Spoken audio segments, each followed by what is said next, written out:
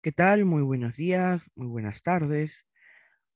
En nombre del Centro de Estudios Orientales agradecemos a todos su participación e interés en la, en la participación de nuestro ciclo de conferencias titulado Japón, Cultura Popular, ayer y hoy. Agradecemos a todos los asistentes y en su participación de nuestras actividades que venimos desarrollando hoy en nuestra tercera fecha de nuestro ciclo de conferencias. Para poder mantener la misma dinámica del desarrollo de la conferencia del día de hoy, les agradeceríamos que conforme se vayan desarrollando las mismas, puedan ir formulando sus preguntas, sus dudas, sus comentarios en la caja de comentarios del Facebook Live para que nosotros los haremos llegar oportunamente para que éstas sean respondidas hacia el final del día de hoy. De igual manera, agradecemos que puedan compartirlos en sus diversos eh, medios, en sus distintas redes, para poder seguir llegando y alcanzando a mayor cantidad de personas interesadas en los temas en relación a los estudios asiáticos. Entonces, para dar inicio a las conferencias del día de hoy, quisiera invitar al director del Centro de Estudios Orientales, al doctor Ricardo Sumalavia, para que nos dé sus apreciaciones iniciales. Doctor. Muchas gracias, Luis. Eh, muy buenos días. Aquí contento en otra sesión más de este ciclo de conferencias Japón eh, ayer y hoy. Eh, ciclo de conferencias que además lo que está buscando es estimular eh, el estudio, la profundización en diversos aspectos de la cultura popular japonesa, sobre todo a partir del trabajo realizado por, jóvenes investigadores, ¿no? como en el caso de hoy, que nos acompañan eh, Jesús Tadeo Palacios y Rosa Salcedo. Y, y, por supuesto también quiero saludar a todas las personas que ya están desde el otro lado de la pantalla, a través desde nuestras plataformas, nuestras diversas redes, acompañándonos una vez más y eh, sabiendo que todavía tenemos otras actividades eh, que van a continuar. Esta misma noche tenemos eh, otra más que seguramente ya ahora Luis anunciará y en los días siguientes. Entonces estamos terminando este año, este presente 2021, con mucha satisfacción, sabiendo que estamos aportando, que estamos colaborando cultura japonesa, como también lo hemos venido haciendo con respecto a las culturas de otros países asiáticos. Por mi parte, muchísimas gracias y espero que disfruten estas conferencias.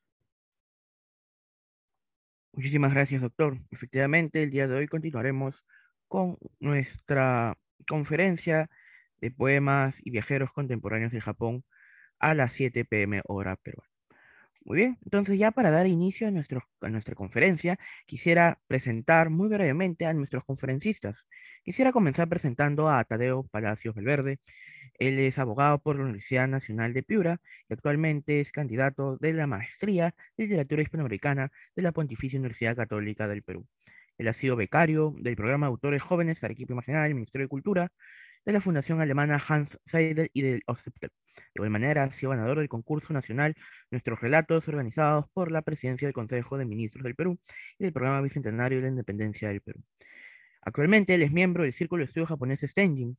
Sus áreas de interés académicas radican en el estudio de la violencia, la memoria, afectos, género y tratamiento de los derechos humanos desde la narrativa hispanoamericana y peruana. Y en cuanto a sus estudios centrados sobre Japón, se, interesa en el tratamiento de las narrativas de la memoria, construcción del género, violencia política en la cultura pop, anime, manga, shonen y seinen. También el día de hoy nos acompaña Rosa Isabela Salcedo Mosquera. Ella es estudiante de pregrado de la Facultad de Derecho de nuestra Casa de Estudio la Pontificia Universidad Católica del Perú. De igual manera, ella es miembro del Círculo de Estudios Japonés Stenjin.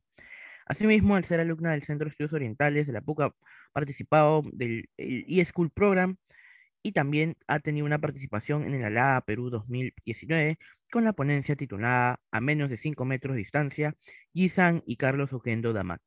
Sus áreas de estudio y de investigación se centran en la literatura japonesa y surcoreana, al igual que el anime, el anime y el manga. Muy bien, entonces nuevamente agradecemos su participación e interés y quisiera ceder la palabra a Tadeo Palacios. Tadeo, lo escuchamos. Muchas gracias. Eh, es un placer poder estar nuevamente en otra jornada del Centro de Estudios Orientales eh, y poder acompañarlos también en esta travesía alrededor de la literatura, la novela gráfica y sobre todo la novela gráfica serializada, en este caso el manga. Voy a proceder a compartir entonces la pantalla y dar comienzo a mi ponencia, que espero encuentren eh, interesante. Eh, ¿Me confirman si se ve? Excelente. Entonces, la ponencia de hoy se titula ¿De qué hablamos cuando hablamos de yoyos? Un acercamiento a la estética masculina transgresora desde las sagas familiares en el shonen. Eh, primero quería hacer un, pequeño paréntesis. No sé si, si se ve aquí. Ah, me parece que sí. Un momento. De acuerdo. Cuando hablamos entonces de yoyos, nosotros tenemos que partir respecto a la pregunta eh, iniciática de esta ponencia. ¿De qué hablamos cuando hablamos, en este caso, de yoyos? La pregunta puede reformularse una y otra vez, sobre todo cuando a la fecha abundan en redes y en distintas plataformas creativas las referencias a la estrambótica historia y personajes particularísimos creados por el mangaka Hirohiko Araki. En este caso, Natural de Sendai, en 1960, eh, como fecha de natalicio, Hirohiko Araki eh, es uno de los mangakas más destacados dentro de la eh, llamada generación de oro. En este caso, nacido en la prefectura de Miyagi, Japón, Araki se define a sí mismo como un artista y melómano autodidacta. Interesado en el manga desde pequeño, su formación estuvo marcada por el influjo del arte clásico occidental, el cine y la música, disciplinas que han marcado en gran parte su obra. Estudió en la Universidad de Educación de Miyagi, no obstante, pronto abandonaría su carrera para enfocarse a la labor creativa. En 1980, Hirohiko Araki va a publicar el manga Buso Pawa, en este caso traducido a su título en inglés, Poker Under Arms, por el cual recibiría el premio Tezuka y a raíz de ello, en 1983, tendría su primera experiencia de serialización con el manga Mashonen BT. Para 1984 y 1985, Araki obtendría un mediano reconocimiento por su obra gore y de sci-fi titulada Bajo, siendo la primera de sus producciones en ser adaptadas al formato de OVA, Original Video Anime, en 1989. Sin embargo, no sería hasta 1987 que conocería la fama gracias a la publicación del que sería el primer arco de su obra cúspide, la cual en este caso nos atañe. Jojo no Kinja Naboken, o también titulado como Jojo's Bizarre Adventure, eh, va a significar un punto de inflexión dentro de la industria del anime y es sobre esto que vamos a narrar en este caso nuestra ponencia. Desde entonces han sido casi 35 años de trabajo continuado a partir de Jojo, expandiendo las posibilidades de un universo propio que ha producido secuelas, mangas, videojuegos, películas, libros de arte, colaboraciones con casas de moda y con organizaciones internacionales. Araki en este caso se encuentra actualmente casado con Asami Araki y tiene dos hijas. Y a la fecha, en diferentes entrevistas, se ha posicionado como un recio activista a favor de las causas de la comunidad LGTBIQ, lo cual también va a permear su obra y vamos también a poder apreciarla en esta exposición. Eh, además, se haya comprometido con cultivar un estilo de dibujos que, a la par de la historia, prioriza una tesitura cada vez más realista, experimental, desde las paletas de colores hasta el diseño de sus personajes. Nosotros aquí en pantalla podemos ver alguna de sus portadas. Como hemos dicho, el manga que lo catapulta a la fama es Jojo na Kinjanaboken, eh, y tenemos un estilo que se caracteriza principalmente por dos cosas. Primero, la emulación del arte eh, grecolatino a través de las proporciones de sus personajes, además de la hibridación de otros estilos como el pop art y, por supuesto, la paleta de colores de artistas como Paul Gauguin.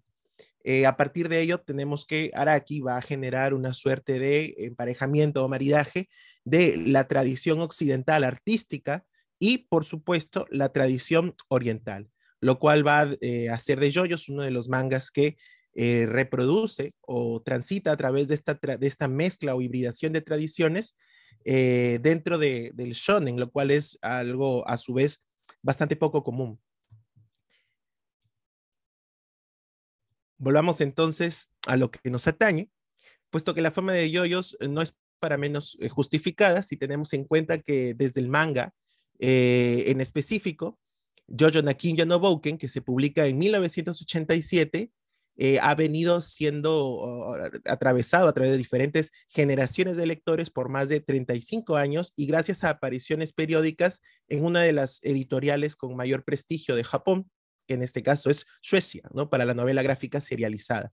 De un lado, a través de su revista Weekly Shonen Jump, desde 1987 hasta el 2005, y de otro, en una segunda etapa de su obra, a través de Ultra Jump, desde el año 2005 hasta la actualidad.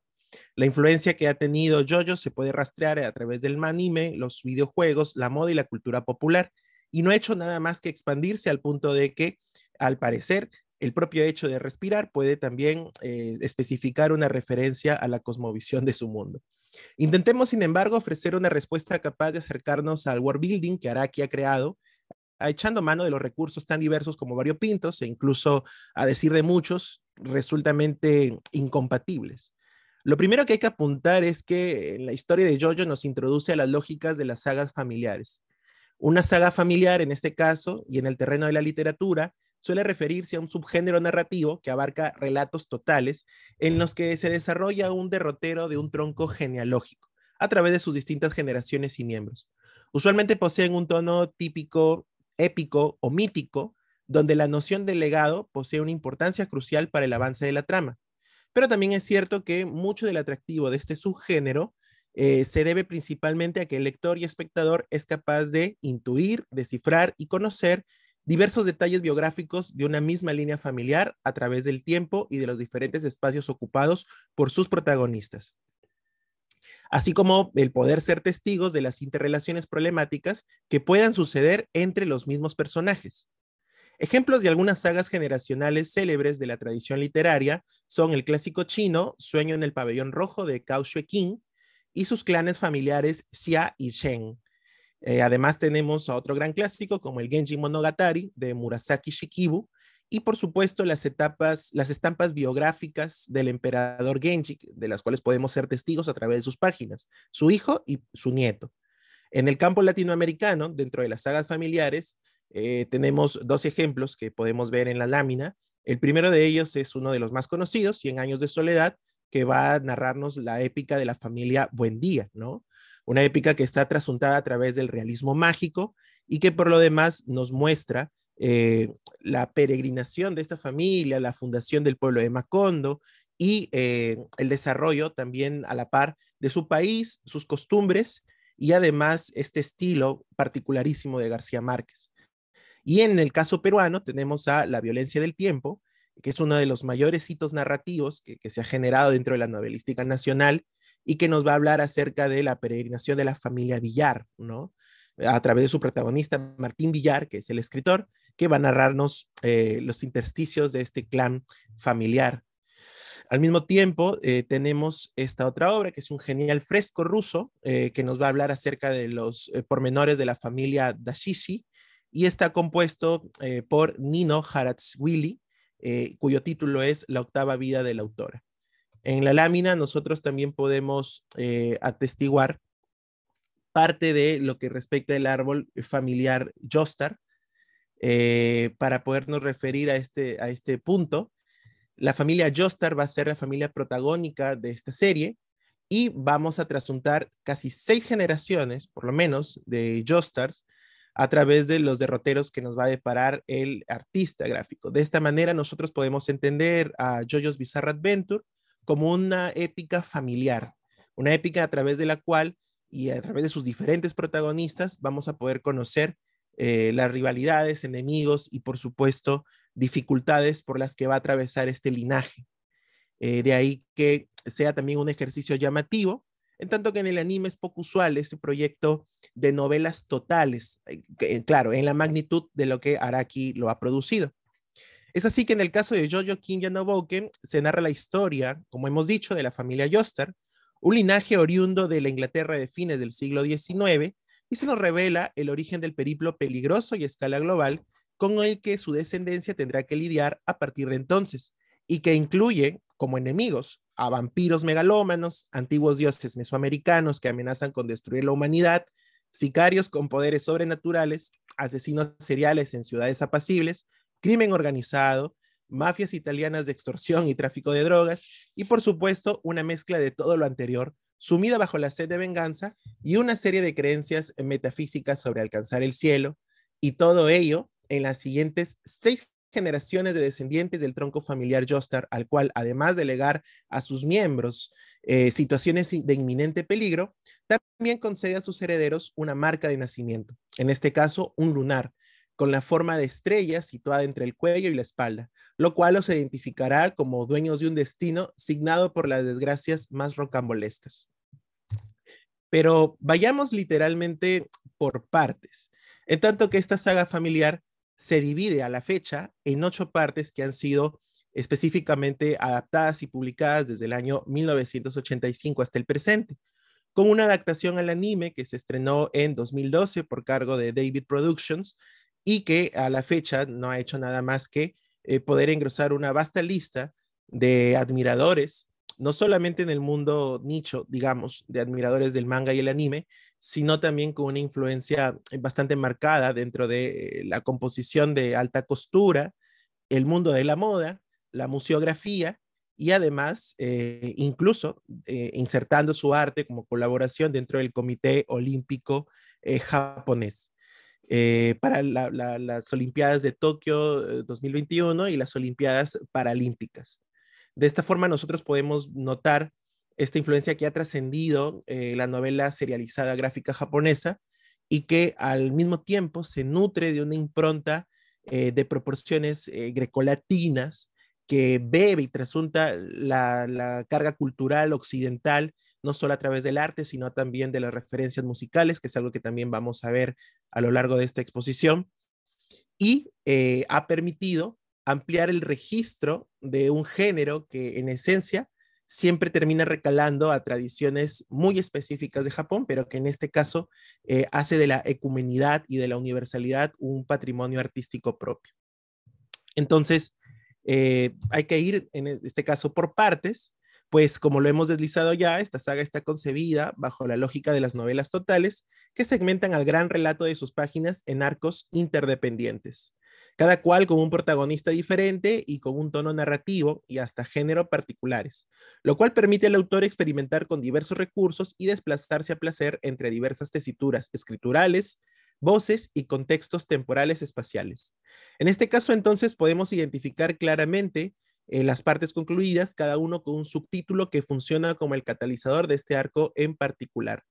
El punto de partida, y tomando como núcleo la rama principal de los descendientes cronológicos de la familia Jostar, se encuentra a través de Phantom Blood. Phantom Blood es un relato gótico que se ambienta a finales del siglo XIX y que está protagonizado por un joven aristócrata llamado Jonathan Jostar y su hermanastro, el sensual y cruel vampiro Dio Brando.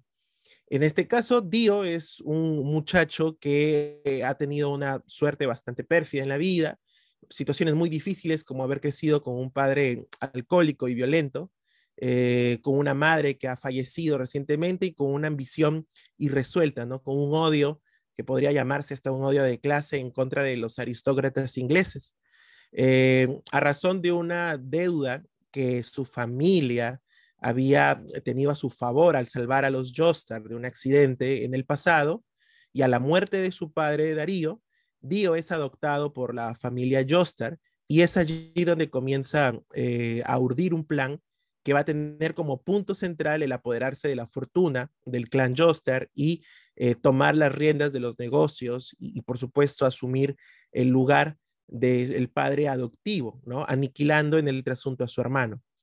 Eh, en este interín nosotros podemos ver algunos elementos que son bastante típicos de la novela gótica, en este caso el secreto, eh, la deformidad y además la deshumanización de los personajes. Como clásicos nos remiten a ejemplos como el Castillo de Otranto de Horacio Warpole o incluso eh, tenemos elementos de la novela vampiresca, que estos son por demás obvios, que lo emparentan además con la épica romántica del caballero o del aventurero, que trata de acabar con la factura sobrenatural de su enemigo vampiro. Eh, Dio, al colocarse la máscara de piedra, que es un instrumento arqueológico que había pues, permanecido bajo custodia del clan Jostar, eh, producto de, una serie de investigaciones que tanto el padre como, como el propio Jonathan habían estado llevando a cabo bajo su profesión de arqueólogos, eh, de una cultura bastante eh, lejana para entonces, eh, claro, desde el punto de vista de la Inglaterra del siglo XIX, es que Dio se coloca esta máscara proveniente de, México y es, y es a través de los poderes ocultos que esta máscara tiene que logra convertirse en un vampiro, lo cual también nos muestra un método bastante eh, fuera de lo convencional para la transformación vampiresca, por lo menos dentro de, la novela y del manga, ¿no? Se solía advertir que la transformación del vampiro estaba mucho más emparentada con la mordedura de uno de estos individuos y la traslación de su poder, ¿no? De, bajo este estado de los no muertos. En cambio, aquí se logra la transformación a través de instrumentos fijos, ¿no? Lo cual nos remite también un poco a los relatos de Robert Bloch, ¿no? Donde sus protagonistas podían convertirse en vampiros a través de la colocación, por ejemplo, de capas, ¿no? En este caso es una máscara. Al colocárselo Dio pierde la noción de humanidad, se exacerba el carácter vengativo y megalomaniaco y va a tratar a través de una legión de muertos, de seguidores, en tanto que Dios se convierte en una suerte de líder carismático, cristofórico, eh, capaz de seducir tanto a hombres como mujeres para ponerlos a su servicio va a tratar de erradicar la presencia de su hermano.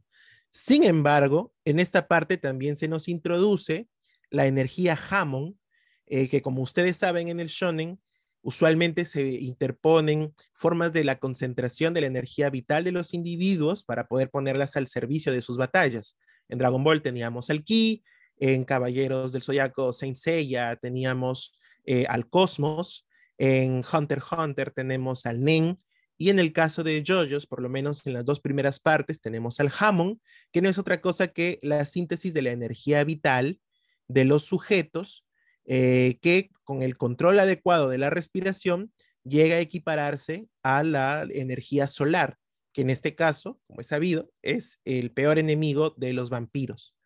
Eh, hay otra cosa que destacar a partir de la estética, y es que además de introducirnos al villano carismático Dio, que va a ser una presencia omnipresente y culpable de la mayoría de las desgracias que van a enfrentar a lo largo de los siglos los demás JoJo's.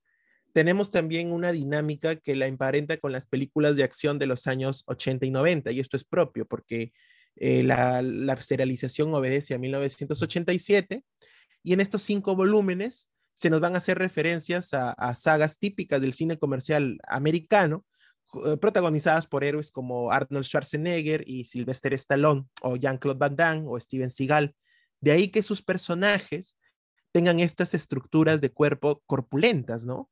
Eh, hipervaroniles, eh, sobre manera estetizadas en una estructura de cuerpo casi de moles.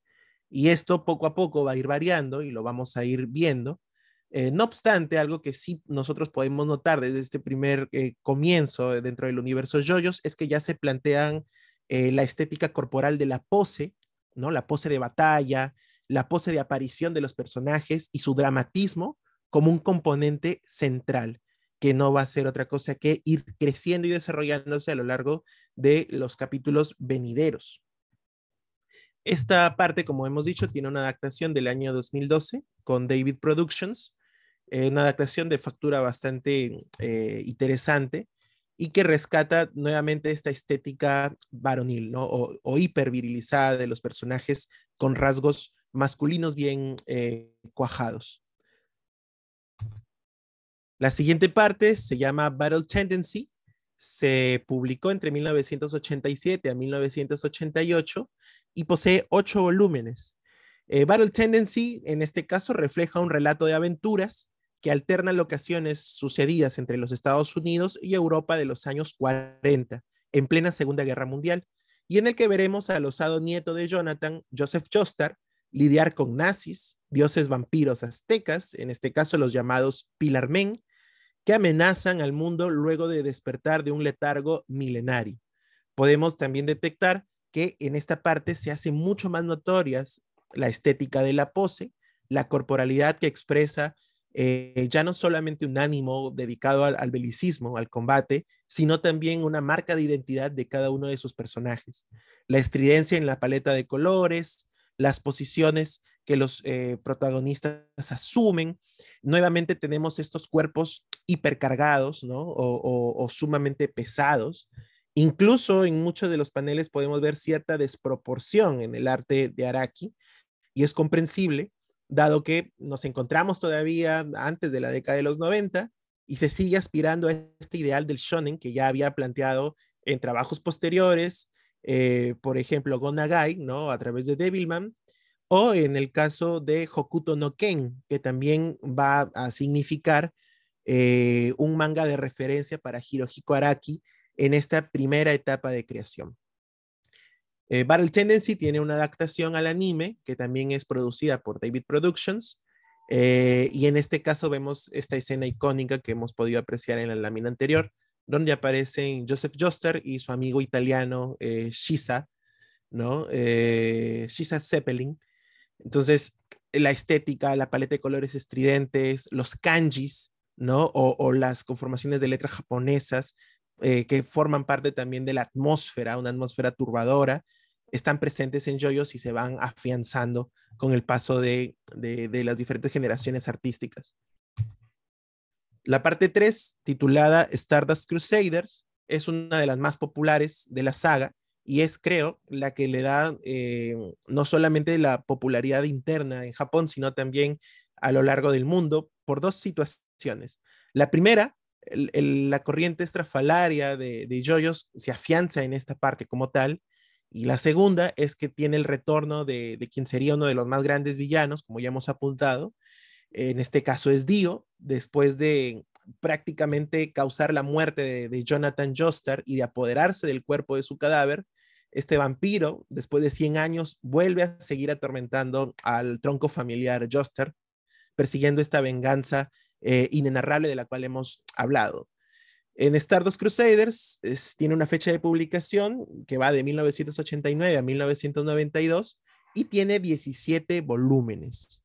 Además de esto, es un relato que se encuentra situado a fines de 1989, es decir, su cronotropo está e, en ese año, y en el que a medio camino entre la novela de carreteras, la novela de viajes americana, y el, guiño irrecurrible al viaje al mundo en 80 días, tenemos a un típico shonen clásico de luchas contra enemigos seriales, en los cuales se van derrotando adversarios uno tras otro hasta llegar al jefe final. Se inaugura, además del retorno del vampiro Dio, eh, una herramienta nueva para este corolario de personajes. Ya la energía Hammond pasa a un segundo plano y se introduce a los stands, los stands en este caso van a ser los elementos característicos a partir de la parte 3 en adelante de toda esta saga. ¿Qué es un stand? En síntesis, es la manifestación espiritual del cuerpo de sus usuarios y su sola posesión dota de habilidades sobrehumanas y hasta imposibles, como detener el tiempo, crear vida, encoger personas, lanzar llamas, congelarlo todo, acelerar el tiempo, detenerlo, en fin. Eh, los stands no tienen límites, solamente la capacidad creativa del autor se los imponen, pero con el paso de los diferentes capítulos van a ir complejizando sus habilidades. Tenemos aquí eh, el panel principal, ¿no? La cubierta de la página eh, de, bueno, de, la cubierta del tomo 3 del manga de JoJo's.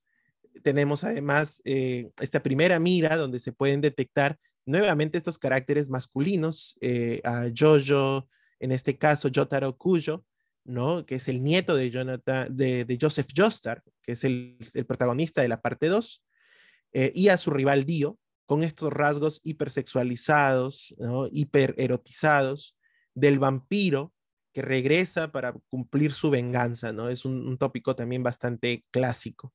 Pero las figuras siguen siendo hipermusculadas, ¿no? Es una, es una composición que sigue recordando el cine clásico comercial americano, y que desborda todavía masculinidad.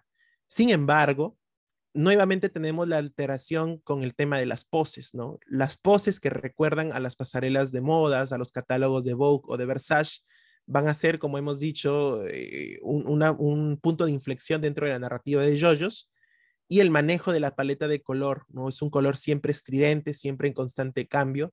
Eh, son marcas personales de Araki. Tuvo una adaptación que también fue una de las más populares. Y en este cuadro podemos ver a Dio junto con Jotaro en, la batalla final usando sus stands, ¿no? Esta suerte de manifestaciones espirituales eh, que además de golpear, tienen otras habilidades. Eh, tanto Sawarudo, que es el stand de Dio, o The World, y Star Platinum, que es el stand de, de Jotaro, tiene la habilidad de tener el tiempo y no solo es importante en este caso para las batallas, sino que también juega mucho el ingenio dentro de esta saga. En general dentro de los yoyos, ¿no? El ingenio y la capacidad de planificar estrategias, planes, va a ser importante para sus protagonistas, lo cual lo va a diferenciar de otros shonen donde se suele priorizar eh, el power up, el incremento de, poderes eh, y además de ello la posesión de, un set de protagonistas masculinos o que solamente estén interesados en pelear.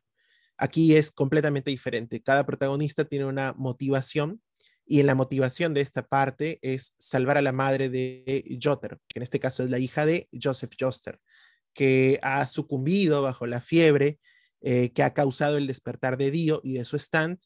Y la única posibilidad que tienen para poder salvarla es viajar hasta Egipto desde Japón a través de un viaje transoceánico, derrotando a una serie de enemigos hasta llegar al vampiro final.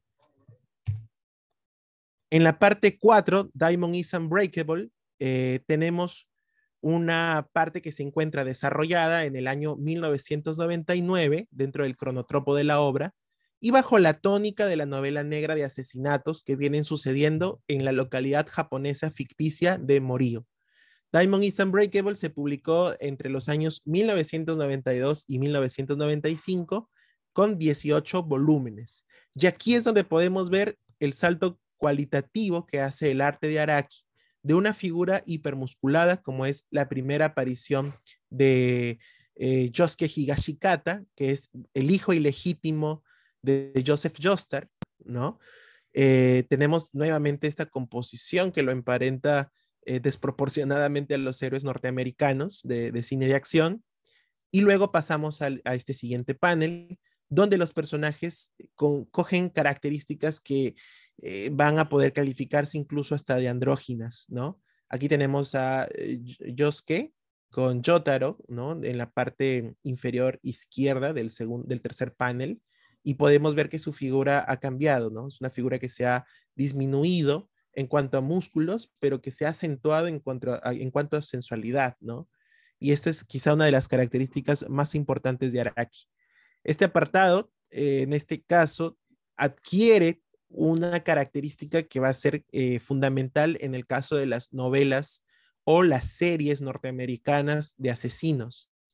Eh, una tónica lenta, un asesino serial completamente deshumanizado y con peculiaridades, en este caso va a ser Kira Yoshikage, ¿no? el asesino que tiene un fetiche por las manos, el enemigo principal de esta saga, pero no va a aparecer sino ya hasta los capítulos finales. Mientras tanto, tenemos una especie de slice of life en donde los personajes eh, tratan de descubrir el origen de los stands eh, a través de una flecha, ¿no? Y la problemática que van a tener estos combatiendo a diferentes enemigos que se van a presentar ora como eh, ex discípulos de Dio, ¿no? Ora como eh, sujetos que tratan de entorpecer sus planes, o si no, como ciudadanos que eh, forman parte de esta localidad, Morío.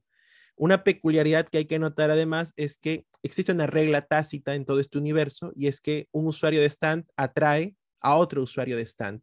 Y esa es una serie de justificaciones por las cuales Araki va a poder dar pie o pivote a su obra para poder darle movilidad y avance. De modo que no resultaría casual de esta forma y con esta explicación que los personajes de JoJo se encuentren constantemente entre la espada y la pared junto a otros usuarios de stand como ellos. Tuvo una adaptación también al anime, igualmente llevada a cabo por David Productions, que se ha encargado de llevar casi toda la saga. Eh, Diamond is Unbreakable tienen esta estética eh, donde se emparenta además con el pop art y que, eh, como hemos dicho, reduce la musculatura de sus personajes, entregando rasgos más finos, eh, casi andróginos, y nuevamente la presencia eh, de las poses es algo también cardinal a lo largo de toda esa saga, pero la parte 4 es la parte donde todos estos elementos se van a sentar para poder dar una estética mucho más homogénea.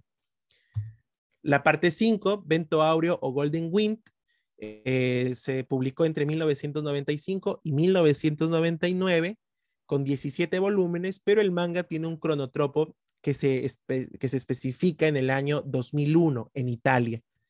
En este caso, nosotros vamos a ver una gran influencia de las épicas sobre mafias y traficantes de drogas.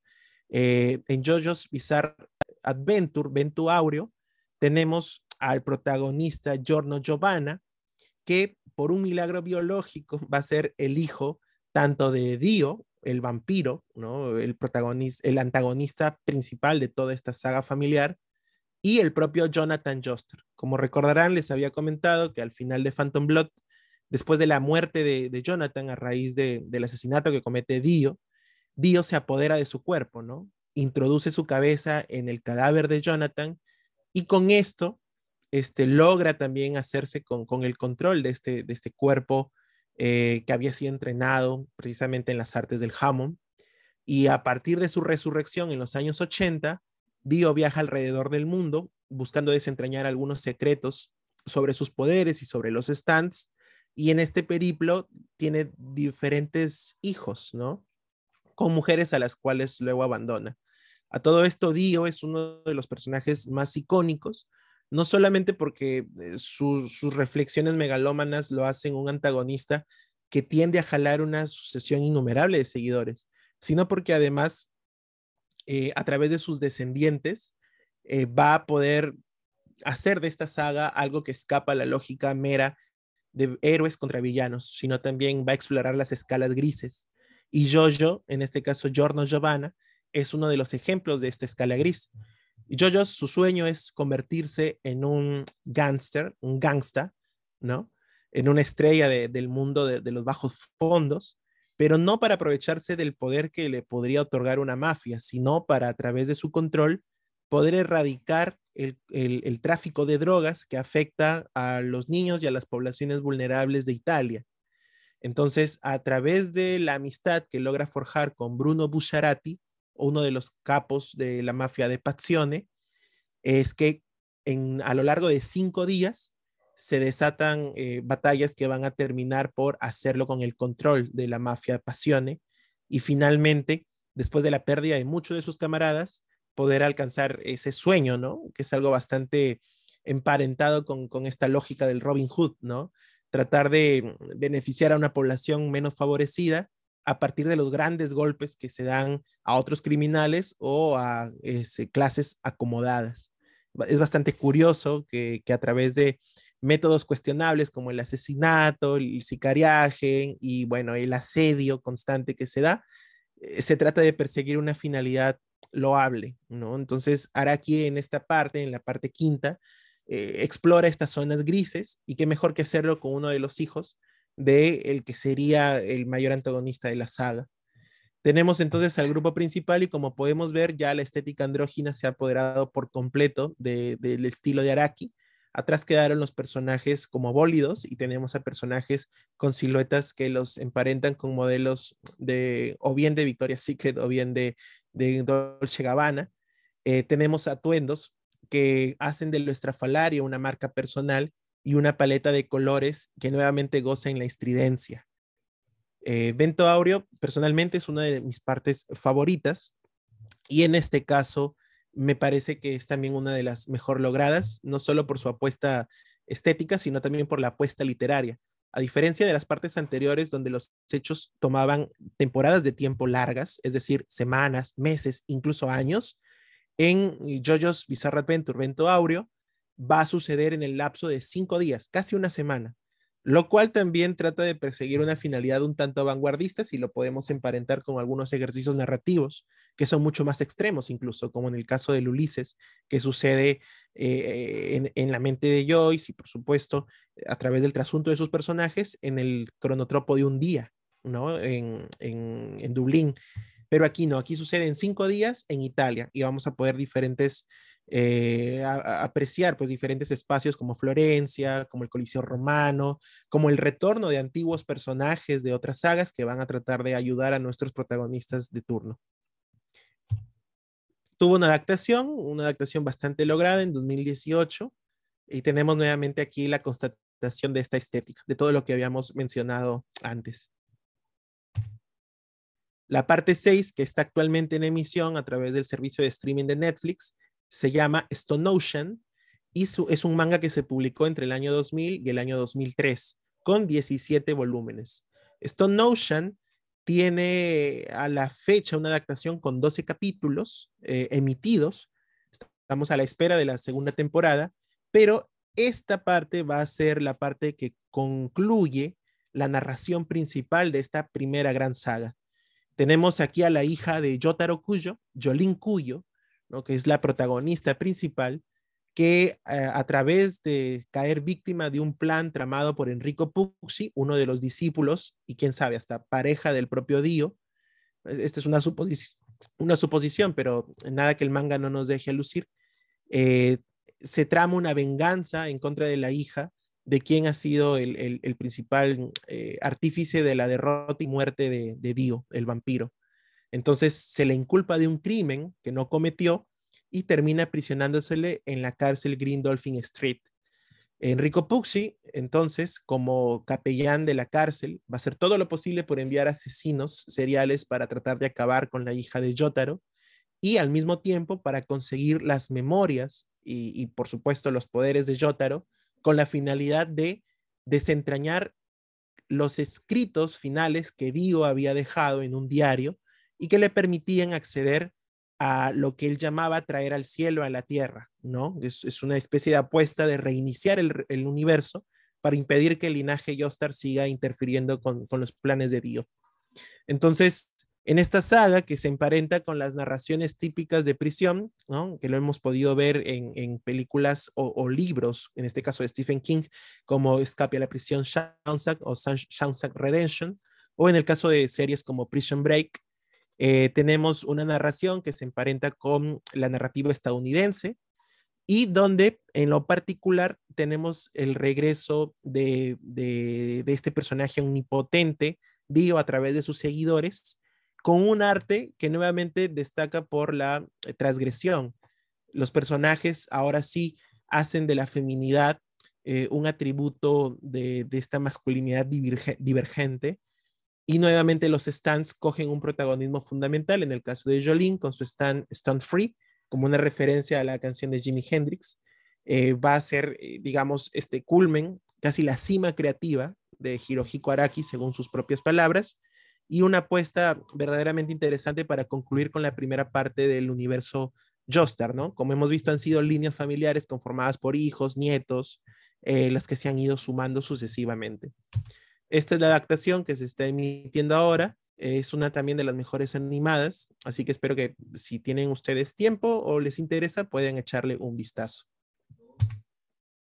La parte 7 todavía no ha sido animada, es Steel Run, uno de los alcances eh, mayores en, cuanto a narrativa, pero estas ya suceden en un universo paralelo, ¿no? Podríamos interpretar que después del reinicio que sucede en Stone Ocean, eh, en otro universo, Araki vio la oportunidad para poder reinventar a sus primeros personajes, porque los protagonistas de esa saga, algunos son versiones paralelas de protagonistas que ya conocemos. En este caso es una reinvención de la parte 1 con un protagonista que va a llamarse también Jonathan Joestar, pero en este caso ya no va a ser un caballero inglés de la Inglaterra del siglo XIX, sino un jockey norteamericano que sufre ahora mismo de, invalidez y que se enlista en una carrera que es el Steel Ball Run a través de toda Estados Unidos, de costa a costa, cruzando el lejano oeste y por supuesto con la tónica acostumbrada que tenían las novelas western o spaghetti western, en el caso de Italia, y pues ambientada a finales del siglo XIX, pero en Norteamérica. Así pues tenemos a Johnny Jostar, ¿no? que es esta reinvención de Jonathan, eh, con un telón de fondo que es bastante estrambótico porque es la búsqueda del cadáver de Cristo, ¿no? Para poder obtener ciertos poderes por parte del villano principal, que es el mismísimo presidente de Estados Unidos, Funny Valentine.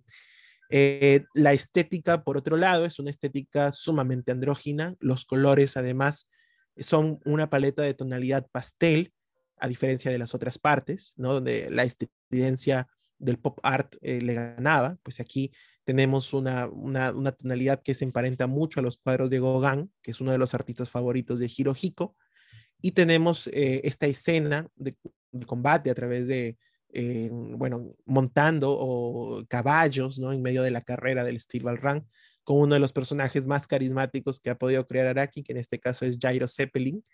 Eh, como hemos visto, el personaje principal siempre tiene coprotagonistas que van a ser sus socios, sus camaradas, eh, formalizando las relaciones de homosocialidad. Es decir, cuando el cast normalmente está compuesto por hombres, usualmente sus camaradas van a ser hombres y viceversa, ¿no? Como en el caso de Stone Ocean, donde el grueso del cast está conformado por un panel eh, femenino. La parte 8, que es la que acaba de concluir hace poco, ¿no? Se publicó desde 2011 hasta 2021 con 27 volúmenes, haciendo una de las más extensas y por lo tanto una de las mejor exploradas por Araki. Eh, Jojo Leon hasta ahora es la parte más ambiciosa, ¿no? Eh, y también por lo mismo la parte más extraña, y esto ya es mucho decir cuando hablamos del universo de JoJo's. Se da en la tónica del cine extraño de David Lynch y series del tipo Twin Peaks, y se encuentra ambientada en una versión paralela o alternativa del pueblo japonés de Morío, en donde se esconden secretos incluso en sus propios campos, ¿no? campos en los cuales eh, los cadáveres se mezclan, resucitan, ¿no? Es, esta parte sí que es una de las más experimentales, siguiendo la tónica del cine extraño occidental, y la estética aquí ha llegado a, su punto más alto, ¿no? Eh, los propios vestuarios de los protagonistas, si antes trataban de encajar un poco con la época, en el western, en el siglo XIX, en los años 80, aquí sí se da rienda suelta a la experimentación fashionista del, del artista. Todavía no tiene animación, pero eh, seguramente la tendrá como, como ha venido siendo eh, costumbre hasta ahora. Se tienen dos spin-off eh, que sí son a considerar spin-off importantes. El primero es Das Spoke Kishibe Rohan o Así habló Rohan Kishibe, el mismo que nos muestra a modo de antologías de relatos de terror, fantasía sombría, diferentes casos con los que ha tenido que lidiar el mangaka, ciudadano ilustre de Morío, y alter ego del propio Hirohiko Araki, Rohan Kishibe, junto a su stand Heaven's Door. Y el segundo es un spin-off de reciente anuncio, todavía no se sabe mucho acerca de esto, pero se ha anunciado hace algunas semanas bajo el título probable de Jojo Land, en cuyas páginas podríamos ver de vuelta a Yosuke Higashikata de la parte 4 de JoJo's y a uno de los ex seguidores de Dio, el pistolero Hall Horse de la parte 3. Todavía tenemos este anuncio de la Ultra Jump Así que solamente quedaría esperar. Eh, en cuanto a los personajes, estos en JoJo's no solo se diferencian por sus cualidades y el uso de un rápido ingenio que les permite descubrir tretas e incluso formularlas, sino también por la forma en que son capaces de lucir un estilo en el actuar, hablar y vestir que los vuelve icónicos e inconfundibles, al tiempo que no dudan en desplegar un lenguaje corporal que deriva en poses estrafalarias en cada batalla o escena en la que hagan su aparición. Esta necesidad de expresión y dominio de la escena, que en muchas situaciones emula las portadas de los catálogos de modelaje de Vogue o Versace, son un homenaje directo a muchas de las imágenes que sirvieron de inspiración y podríamos decir que hasta calco para las ilustraciones del propio mangaka, quien, de más está decir, es un conocedor de la estética occidental y un resuelto admirador del diseño de alta costura como pocos en su rubro. Entonces sí, JoJo's es un shonen donde el ingenio de los combates y la violencia de sus escenas se intensifican con guiños de postureo a las pasarelas fashionistas o con pasos que bien podrían pertenecer al bogey dance o a la impronta del festejo de lo, de lo drag queen o drag king, lo cual lo hace no solo una obra llamativa en un sentido estético, sino que la diferencia de otros mangas y animes de su género, es decir, eh, en este caso el género de aventuras de la demografía shonen, eh, que se encuentran más centrados en los power-up, en las batallas que rebosan virilidad masculina y en personajes arquetípicos que solo viven para hacerse más y más fuertes. Si podemos encontrar una, una diferencia cardinal entre series shonen Land Runner como Dragon Ball Z o el caso, no sé, de, de Rurouni Kenshin eh, o de Full Metal Alchemist, tenemos esto, ¿no? Esta, esta experiencia vital o vitalista que recurre a las portadas de revistas de modas, eh, específicamente diseñadas para una demografía mayoritariamente de mujeres, para resignificarlas y apropiarse de sus poses para dárselas a sus personajes.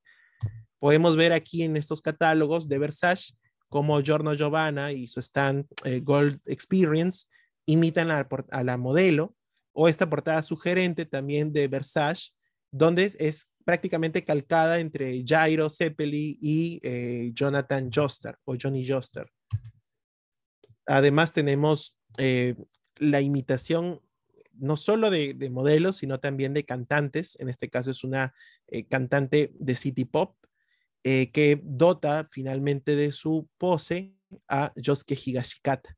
Lo mismo con este panel, que es donde es mucho más claro ver la relación de Versace con, el, en este caso, el arte bastante eh, sugerente de Giorno.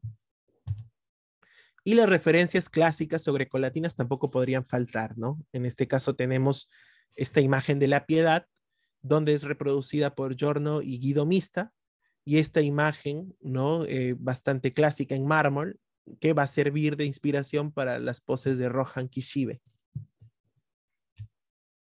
Ahora, habíamos estado hablando de esta evolución estética desde los personajes hipermusculados. Típicos del cine acción comercial, a una estética mucho más queer.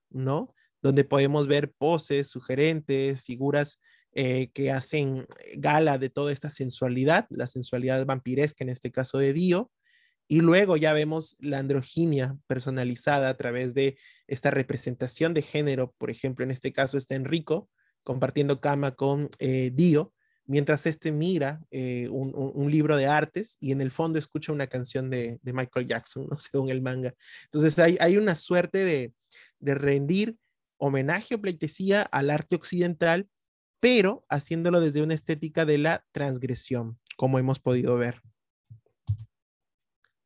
En suma, podemos decir que la corporalidad y la estética de la pose, en términos de Silvia Molloy, para los personajes de la saga de Joyos, conforman un mecanismo de la expresión que escapa al solo ámbito del arte marcial y entonces se vuelven marcas de identidad. La expresión y la pose ya no solamente se hacen funcionales, sino que se convierten en formas de expresión de género de cada individuo, Ello en tanto que cada uno posee una sucesión de movimientos que le son propios y resultan reconocibles por el público que se hace a las páginas dibujadas por Hirohiko Araki. Sin embargo, en el medio, las reacciones provocadas ante semejante espectacularización de los gestos suele dividirse en un público que o bien celebra la irrupción de lo transgresor, ora desde su relación con lo bizarro del material, ora desde la sonrisa cómplice, o un público que rechaza contundentemente las formas y modos que se toman por impropios para ser ejecutados por hombres dentro de los cánones ficcionales de masculinidad hegemónica. Y más aún teniendo en cuenta eh, los estándares institucionales conservadores de una sociedad eh, bastante apegada a la noción propia de lo heteronormativo como la japonesa. En cualquier caso, los cuerpos esbeltos, estilizados o brutalmente fornidos de los yoyos cuerpos andróginos, cuerpos femeninos fuertes y rudos, gestos exagerados, poses extravagantes y una estética que goza con el cambio de la paleta de colores, de los escenarios, de los personajes, o que incluso introduce estilos tan disímiles como los del pop art, la psicodelia, las proporciones renacentistas, los cuadros de Gauguin eh, y aún el arte clásico de Kanagawa, todo ello compone un canto coral a la divergencia de influencias estéticas que en conjunto se transforman en un corpus sorprendentemente sólido y original, cuando no transgresor. Ahora bien, no solo el arte gráfico, plástico o de diseño toma lugar en esta saga para erigir un arquetipo de héroe villano distinto, sino que a ello se adicionan ingentes referencias a un nutrido soundtrack pop de Occidente. Ello por cuanto los nombres de muchos de los caracteres ficcionales, al igual que el de sus poderes específicos, los stands, hacen honor a un panteón musical extenso que de alguna forma se las arregla para reunir en una sola obra guiños a las bandas como The Beatles, Rolling Stones, Jimi Hendrix, Oingo Boingo, Dio, Kraftwerk, Pet Shop Boys, Fleetwood Mac, White Snake, Talking Heads, Wither Report, Aerosmith, Kiss, Prince, Queen o King Crimson, entre muchos otros ejemplos igual de legendarios. Así que también podríamos indicar, sin temor a equivocarnos, que los yoyos son uno de los mayores homenajes a la industria musical occidental que se haya planteado en un manga alguna vez. Visto lo anterior, bien podríamos acotar que la riqueza de este cosmos creativo se agota en su multiplicidad de motivos y tramas, pero decirlo sería reduccionista. Y es que junto a los tropos que abarca la inmensa historia familiar principal, desde Phantom Blood hasta Stone Ocean, y sus reinicios en otro universo paralelo, desde Steel Ball a Yoyolion, la épica familiar de los yoyos ha sido capaz de forjar una marca propia que la hace única en su tipo y que va desde la incorporación de tradiciones de bellas artes en el diseño de personajes, siguiendo cánones de diseño clásico que recuerdan la influencia grecolatina en la formación autodidacta de su autor, hasta la suma orgánica de códigos y símbolos del mundo de modelaje, las revistas especializadas en pasarelas y la música de rock, pop, folk, jazz y electrónica. Son estos aspectos totalizantes de su impronta que en lo particular considero que reside una de las mayores apuestas de la obra de Hirohiko Araki, acentuada siempre por una voluntad ecuménica de amalgamar diversos elementos de la cultura popular occidental con los de la oriental. Tal acierto se subsume a las constantes reinterpretaciones de los arquetipos y moldes de una demografía a veces tan conservadora en cuanto a sus modos, estilos, temáticas y límites como la del shonen, demografía dirigida a un público mayoritariamente masculino y joven. De esta forma, desde 1987, JoJo's Bizarre Adventure desafía la noción típica del héroe sin mancha, puro, valeroso y masculino, partiendo desde la forja de una sensibilidad que con cada parte se aleja mucho más de ciertos tipos de masculinidades hegemónicas y poco a poco se consolida en un estilo que no teme adentrarse a las difusas líneas de lo andrógino, lo fluido y lo queer, trabajando tópicos como la homosocialidad, de los vínculos fraternos entre camaradas, eh, siete de las ocho partes de yoyos tienen grupos formados enteramente por hombres, donde prima la confidencia, y entonces tenemos un grupo casi, casi eh, perpetrado a través de la homosensualidad de sus cuerpos, que en síntesis tiene la costumbre de configurar antagonistas memorables, de apariencias que lindan lo erotizado e igualmente capaces, tal y como los protagonistas, de desenvolver sus pasiones como leitmotiv de la historia. Quizás sea esta sumatoria de efectos e inquietudes las que han hecho de Yoyos una de las épicas familiares más curiosas de las que se tenga noticia en la novela gráfica, y quizá sea también esta una de la explicación de por qué poquísimos mangas suelen llevar su arte más allá de las fronteras típicas del nicho y asentar en exhibiciones de prestigiosos museos como el Louvre o desfiles de modas a partir de los cuales han surgido colaboraciones con diversas compañías del sector como Hugo Boss, Dior, Gucci, Dolce Gabbana o Spur. Para el encanto de los yoyos, diseminado por Araki a partir de una estética de lo transgresor, parece no haber fronteras. Y una prueba de ello es su incorporación de arte a través de la publicidad del Comité Olímpico Japonés del 2021. En ese sentido, eh, no es para menos nada desproporcionado aseverar que fueron los yoyos los que han acabado integrándose a gran parte de las referencias populares que el autor tomó inicialmente para nutrir su obra y las ha resignificado, rompiendo las barreras de los públicos reducidos y, como hemos atestiguado, trascendiendo las fronteras usuales del shonen clásico para integrarse a la cultura pop global. A modo de corolario y de conclusión, eh, desde el 1 de diciembre de 2021, a través del streaming de Netflix, se ha estrenado los primeros 12 capítulos de la adaptación animada de la sexta parte de la saga de JoJo's, en este caso titulada Stone Ocean. Los encargados son nuevamente el estudio japonés David Production, el cual desde hace nueve años lleva con éxito la producción y animación de cada una de las partes hasta el momento. El fenómeno, como era de esperarse, invadió las redes y fue tendencia a escala global. Por esto y por muchas otras razones que hemos expuesto, recomendamos el visionamiento de yoyos desde una perspectiva ecuménica y desprejuiciada. Muchas gracias. Muchísimas gracias, Tadeo. Efectivamente, agradecemos, ya nos han hecho llegar una pregunta y que será respondida hacia el final de nuestra conferencia. De igual manera, les seguimos invitando que si siguen eh, teniendo alguna pregunta en relación a la conferencia de Tadeo Palacios, la vayan formulando. Muy bien, ahora quisiera invitar a Rosa Salcedo para que continúe con su conferencia. Rosa, escuchamos.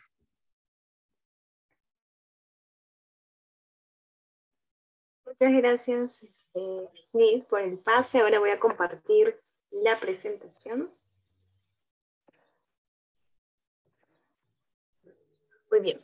Este, Buenas tardes a todos, mi nombre es Rosa Salcedo y a continuación voy a exponer sobre el manga Jutsu Kaisen. Bueno, esta parte de exponer sobre el manga. El título de mi trabajo se denomina Ser incapaz de ignorar algo que se siente erróneo. Un análisis de la justicia y la moral en el manga Jutsu Kaisen del arco El viaje a la extinción. Como bien se sabe, el manga Jujutsu Kaisen pertenece a la demografía shonen.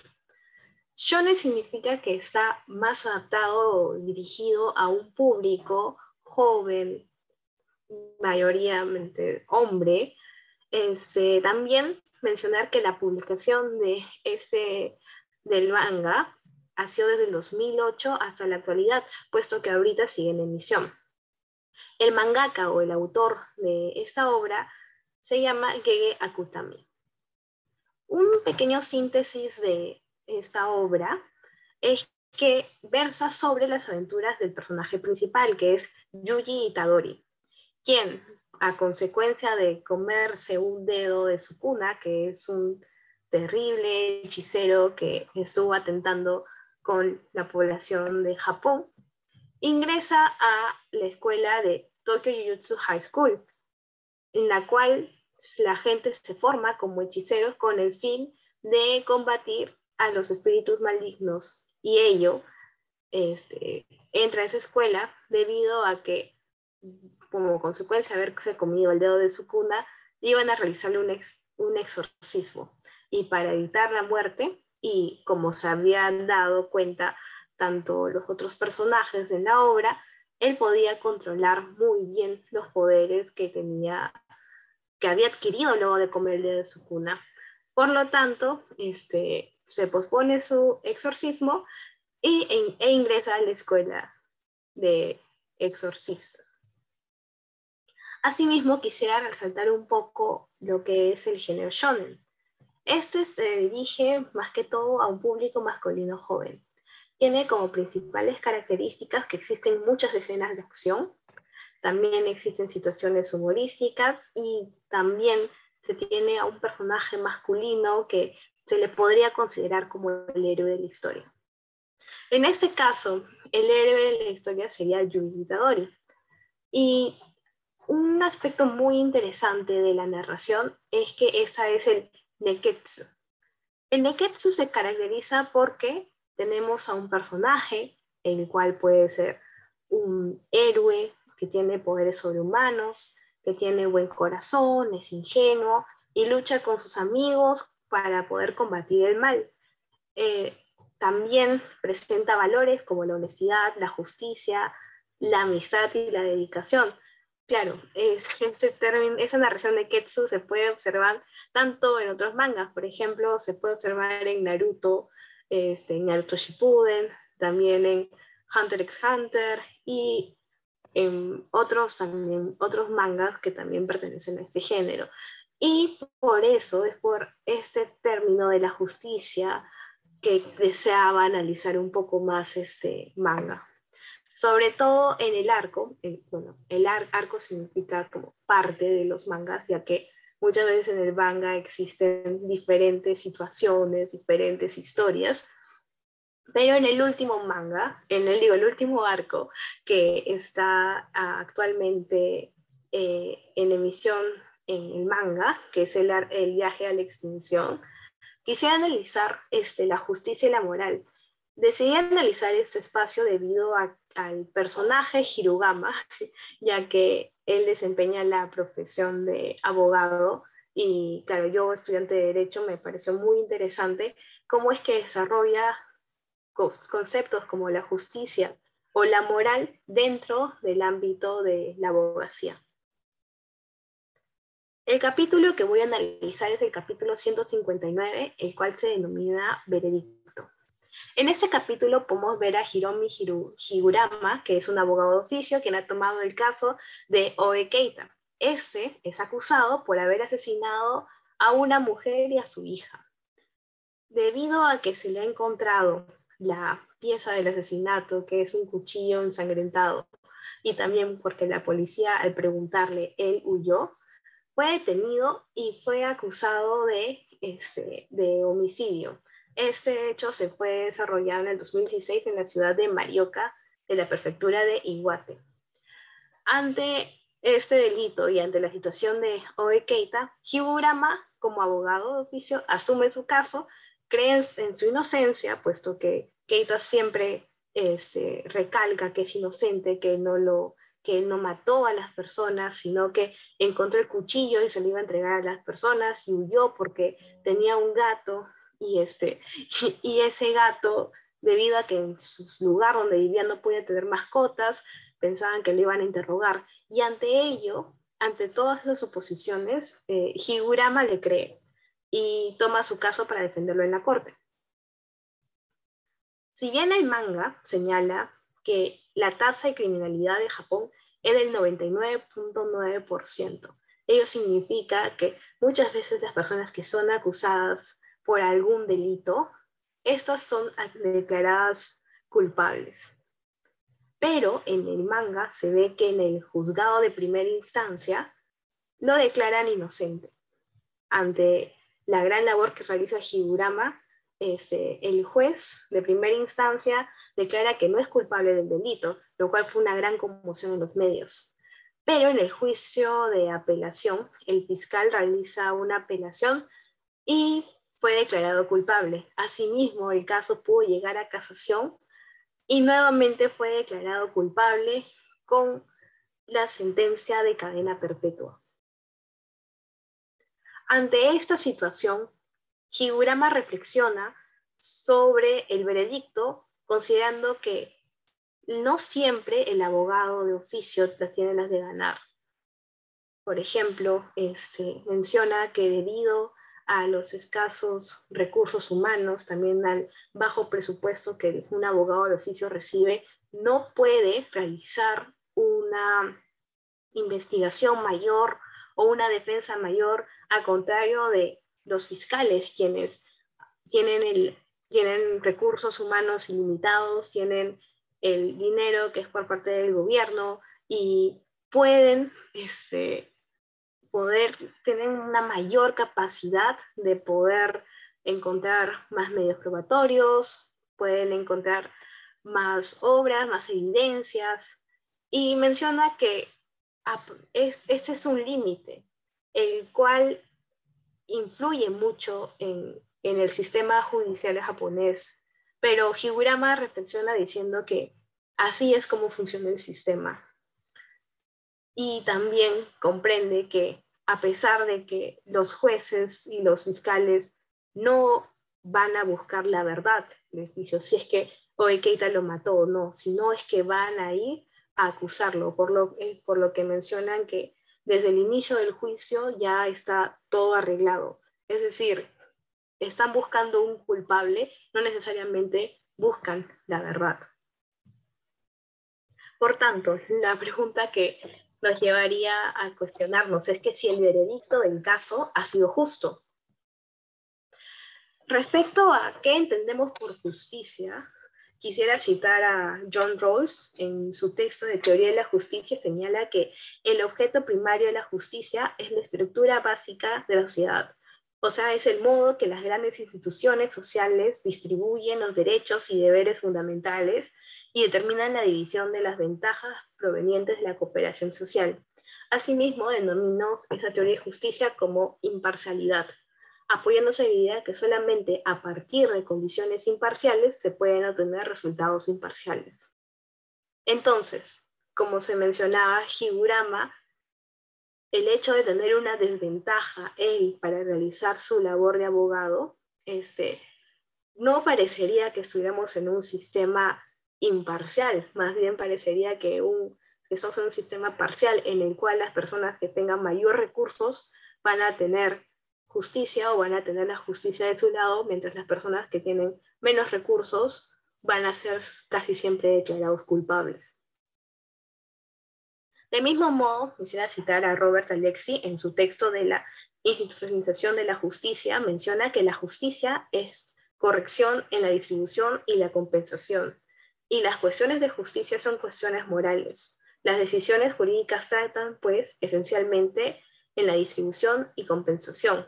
Por ello, las decisiones jurídicas tratan esencialmente de cuestiones morales. Alexi, en este caso, hace una relación entre la justicia y la moralidad. Por tanto, ¿cuál es la moral que se encuentran en los abogados, como el Higurama o en las otras figuras como el fiscal o los jueces que se ve en el manga.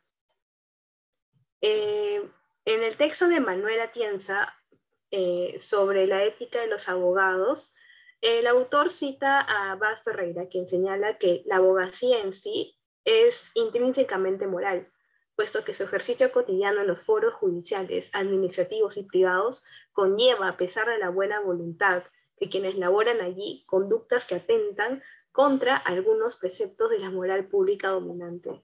Es decir, que a pesar que tengas a una persona que intenta ejercer su labor como abogado o buscar la verdad, siempre va a existir una inmoralidad intrínseca. Asimismo, Atienza cita a Pepper, que menciona que los abogados pueden ser agentes morales instrumentales que se encuentran al servicio del cliente. Por ende, no pueden pretender que sus opiniones morales estén por encima de las del cliente. Es decir, el abogado siempre va a estar ligado no a su moral, sino a una moral externa, a una moral del cliente, a una moral de quizás del mismo pueblo que señala. Pepper también señala que el acceso al derecho es desigual y por tanto también son desiguales las posibilidades de ejercer la autonomía, ya que ese acceso está regulado por el mercado y de manera que la gente con más recursos económicos está en una posición de ventaja. Eso mismo como he mencionado, al ser eh, el derecho una profesión que quizás también tiene una determinada inmoralidad debido a que cada uno este, busca su propio beneficio. Es decir, el fiscal no va a buscar relacionar la verdad.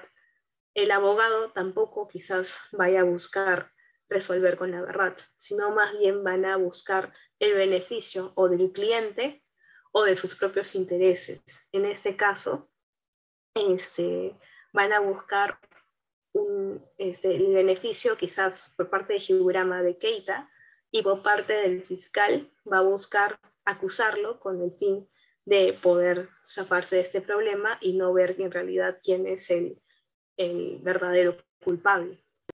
Es decir, en el sistema de justicia japonés tampoco podemos ver que existe una igualdad de armas, a pesar de que todos pueden acceder a la justicia, de que, el, que uno puede acceder al sistema de justicia, eh, mm, al final, eh, como uno, las sentencias o las resoluciones no siempre van a ser del todo justas, porque siempre la balanza se va a inclinar a un lado o al otro. Eh, del mismo modo, este, como ya había mencionado, siempre no va a existir como una justicia total, sino es que va a haber un beneficio a partir de eso, un beneficio que puede ser por parte del fiscal o por parte del abogado. Pero ante esta situación de, aparente injusticia del sistema japonés, y que aquí esto hace también pensarnos al sistema de justicia peruano, este Higurama en el manga, en este capítulo, menciona que él no se considera un salvador de los débiles, sino que ante esta desigualdad y al tener en cuenta que van a haber personas que van a ser injustamente acusadas como culpables, considera que no es que él vaya a ser un salvador, sino que de su propia naturaleza, de su propio ser, considera que algunas cosas van a ser erróneas y por ello no va a permitirle como debilitarse o dejar que deje de defenderlos, porque en el manga se ha visto que Higurama asume casi todos los casos difíciles. Personas que si uno ve los hechos del caso van a ser probablemente este, acusados como culpables, pero él lo asume con el fin de, de, pensar y de que él mismo piensa, claro, o sea, él este, asume casos difíciles, pero no es porque crea que las personas son inocentes, sino porque intenta hacer algo ante este sistema de justicia, aunque todo el mundo le dé la espalda a las personas que posiblemente van a ser acusados como culpables del delito, él va a intentar este, tratar de, mediante, este, las, mediante aspectos legales, tratar de que se vea alguna, al menos algo de inocencia ante ellos, ¿no? y bueno, gracias. Eh, solo puedo explicar una pequeña parte del caso, que es el capítulo 156. Sin embargo, este, en el capítulo 164 y 165 también existen otros temas legales que también recomendaría este, quienes estuvieran interesados ver y analizar también debido a que son temas muy, muy interesantes. Gracias. Muchísimas gracias, Rosa. Muy bien, entonces ya para comenzar eh, nuestra sección de preguntas, les pedimos por favor que vayan formulándolas en el chat o caso contrario nos las puedan hacer llegar a mensajes de la página del Facebook del Centro de Estudios Orientales. Entonces damos inicio a este, esta sección de preguntas. Tenemos una pregunta para Tadeo. Déjenme leerla por favor. Nos preguntan lo siguiente. Bueno, agradece, eh, bueno gracias Jesús por la expresión, súper interesante. Tengo una pregunta con respecto a Phantom Blood. Blood, Phantom Blood dice, Will Zapelli le enseñó Jonathan a utilizar el poder del Hammond, esta antigua forma de artes marciales. Dice, la integración de esta arte marcial busca deconstruir la imagen de estas prácticas deportivas de fuerza y algunas veces violentas como son representadas en los mangas shonen, o será un arte marcial más demostrativa que busca aportar a la expresión de género de cada uno de los yoyos.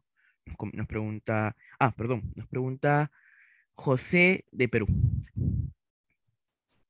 Ah, muchas gracias. Justamente hay una diferencia eh, e, en, el núcleo de estas prácticas, porque como hemos visto, el estilo de Araki ha ido modificándose con el paso de las partes del manga, de esta novela totalizante que es JoJo's Bizarre Adventure, eh, sin embargo, en las dos primeras partes sí que está esta influencia marcada de los clásicos shonen long runner como eh, Hokuto no Ken. De hecho, el protagonista de Hokuto no Ken y, el propio Jonathan Joster comparten caracteres fisonómicos muy similares. Musculatura, una altura bastante por encima del promedio. Eh, la diferencia entre estos dos personajes es el carácter, mientras que el protagonista de Hokuto es una persona mucho más eh, seria, ¿no? Con un carácter eh, quizá hasta parco o mermado, que lo emparenta mucho más al protagonista de la tercera parte de JoJo's, que es Yotaro Kuyo. En el caso de Jonathan Joster es un caballero sensible, ¿no? Es, es el típico modelo caballero, caballeresco, ¿no? De, la literatura gótica, romántica, o sea, que lo da todo por, por una dama en, en apuros en específico, y que se enfrenta a, problemas que tienen que ver con el mal atávico de su estirpe, ¿no? Y sobre todo con la presencia de un villano que quiere destruir su núcleo familiar para, para apoderarse en principio de su riqueza y luego eh, trata de, desaparecer la presencia de su rival, en este caso de Jonathan, para poder hacerse con el control de, ya no solamente de su familia, sino del mundo que es algo muy, muy clásico dentro de, esta entelequia de los shonen. Pero el Hamon es un arte marcial bastante distinto en el sentido llano de lo que implica para la conformación personal de sus protagonistas. De hecho, al ser del año 87, eh, podría servir de inspiración para muchos de los poderes que luego se comenzaron a asimilar en el shonen posterior, ¿no? En el 87 ya estaba presente, me parece, Dragon Ball, ¿no? Ya estaba la noción del ki y Togashi también ya tenía algunos trabajos o, estaba este, preparando algunos trabajos futuros como eh, eh, me parece Yu Yu Hakusho, por ejemplo.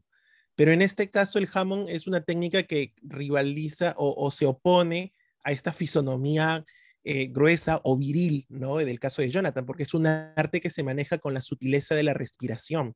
El primer dominio del Hammond es controlar el aliento, la, respiración, la inspiración, la exhalación. Y estas son habilidades que eh, en un principio Jonathan debe dominar con, su maestro Willa Zeppelin y que de alguna forma tratan de dar pacifismo o, una suerte de bondad a sus gestos toscos, ¿no? a su fisonomía tosca por lo que podríamos entenderlo bajo esta perspectiva como una marca también de género en el combate. No estamos hablando de armas eh, o, de las típicas armas clásicas, espadas o instrumentos de violencia, sino con un arma que se entiende, se, aprende a través del dominio de la respiración, para lo cual se necesita concentración, un espíritu calmo.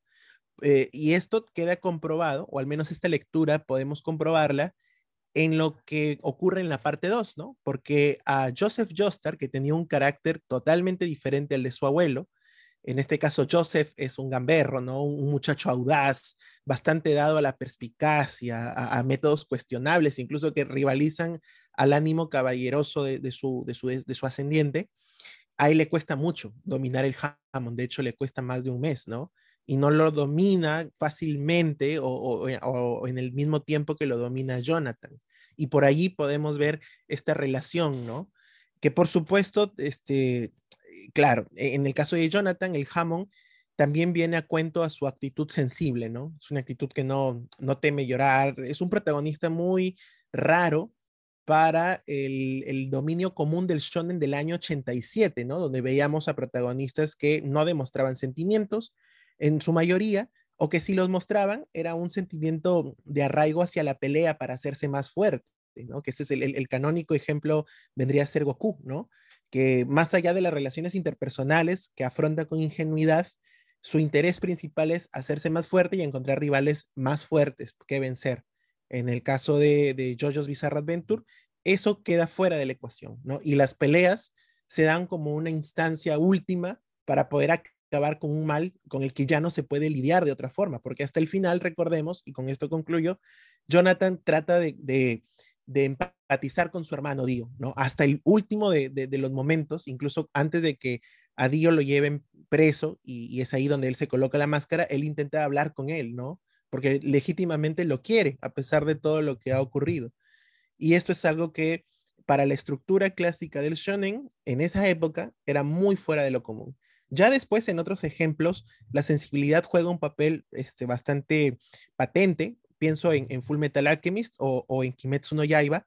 Ya el, sentido de la, emotividad está mucho más presente, pero me parece que en ese caso Jojo sí fue un antes y un después. Bien, perfecto. Muchísimas gracias, Tadeo. Ahora vamos para las preguntas para Rosa. Tengo dos preguntas. Vamos a comenzar con la primera. La primera nos la formula eh, Berta de Perú. Eh, nos pregunta lo siguiente, bueno, nos dice, muchas gracias Rosa, feliz verte exponiendo lo que te apasiona. Eh, me gustaría preguntarte sobre quienes comienzan a investigar desde, desde su carrera, por ejemplo, desde el derecho, qué punto de partida o, o qué autores podemos comenzar a tomar en consideración si queremos analizar tanto mangas, animes, desde unas perspectivas del derecho, nos pregunta. Este, muchas gracias por los saludos y desde el derecho yo consideraría primero este, ver, por ejemplo, analizar algo determinado. Por ejemplo, en mi caso yo pude hacer una vinculación en, en, este capítulo 159 de Jujutsu Kaisen con, este, con lo que es la filosofía del derecho, porque se habla de términos como la justicia o la moral, que son muchas veces temas que se había tocado tanto en las clases que yo de filosofía del derecho, pero considero también que pueden analizar otros aspectos, ¿no? Por ejemplo, me acuerdo que un profesor una vez analizó el, el término del pacto sunt servanda, que es del contrato, o sea, términos así contractuales en Full Metal Alchemist, lo cual fue muy sorprendente. Y creo que son temas de los animes, temas de los mangas que puedes analizar y ver con qué elementos del derecho se podría conectar. Creo que esa sería mi, principal recomendación, puesto que en sí quizás no siempre son así perceptibles, pero cuando uno ve, por ejemplo, no sé, a mí que este, me gusta más el derecho civil, veo, por ejemplo, que en algunos aspectos de, del anime, digamos que hay, ah, no sé, responsabilidad civil o hay contratos o hay cosas que te, te suenan, ¿no? Dices, oye, esto me suena a un término que pude haber visto en mi clase o algo que pude haber analizado en, en un curso o en otro curso, ¿no? Creo que es más que todo ver un determinado aspecto e intentar vincularlo con un aspecto de tu carrera. Perfecto, muchísimas gracias, Rosa. Eh, luego tenemos otra pregunta. Este, momento, quiero ver acá. Es de Lili de México. Eh, Lili pregunta lo siguiente. Eh, bueno, los saludos correspondientes. Muchas gracias por la conferencia, Rosa. Muy interesante este aspecto realizado en Jujutsu Kaisen. Me gustaría saber si nos puedas comentar desde tu formación qué elementos propios de la cultura japonesa identificaste justamente en el caso que investigaste. Sé que parte del sistema judicial japonés contiene ciertos elementos propios del sistema americano, pero quizás nos puedas detallar un poco más al respecto. Muchas gracias también por los comentarios. Este, sí, uno el aspecto que investigué sobre todo fue el sistema este, penal japonés, el cual, y es muy interesante porque eh, ese capítulo del manga inicia con el sistema penal japonés tiene una tasa de criminalidad del 99.9%. E, ese aspecto de que la mayoría de las personas que, van a ser, que son acusadas este, van a ser declaradas culpables es algo que este, también muchas veces sentí una similitud en el, en el caso peruano, porque este, quizás este, también tenemos aspectos similares, por ejemplo, que existe una alta tasa de criminalidad también, quizás muchas, muchas veces no es tan efectiva, pero este, que tenemos también una fiscalía, un ministerio público en el, cual este, haga labores como acusar a las personas, bueno, en, en, el caso del Perú serían las fiscalías provinciales que se encargan de acusar respecto a determinados delitos, sin embargo, este, el sistema japonés también. O sea, claro, quizás el sistema japonés se incline más por un common law, lo cual este, es diferente a, los, algunos sistemas que tenemos acá, en,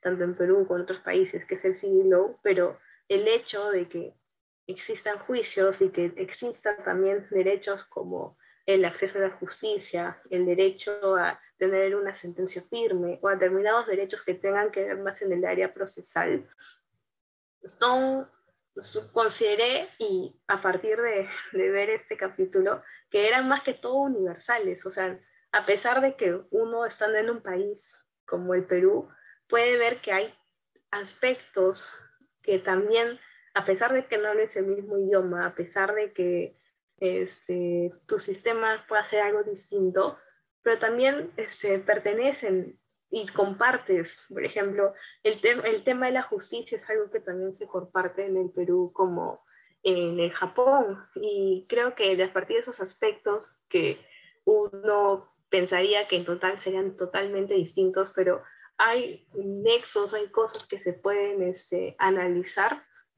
y llevar este, y poder hacer un análisis, una investigación de esos temas.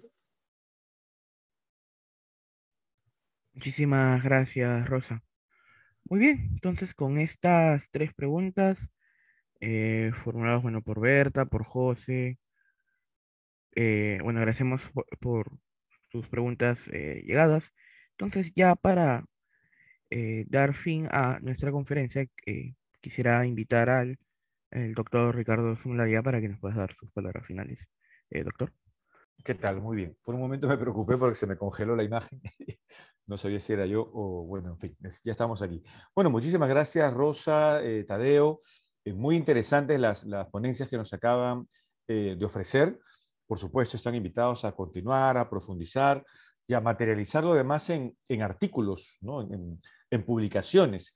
Creo que eso sería fundamental y que lo podamos, ¿por qué no?, tratar de articular a través del Centro de Estudios Orientales por mi parte, muchísimas gracias y, nos, y continuamos con, con las siguientes conferencias.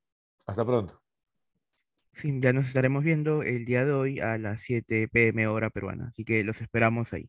Muchísimas gracias Rosa, muchísimas gracias Tadeo, ya será en otra oportunidad.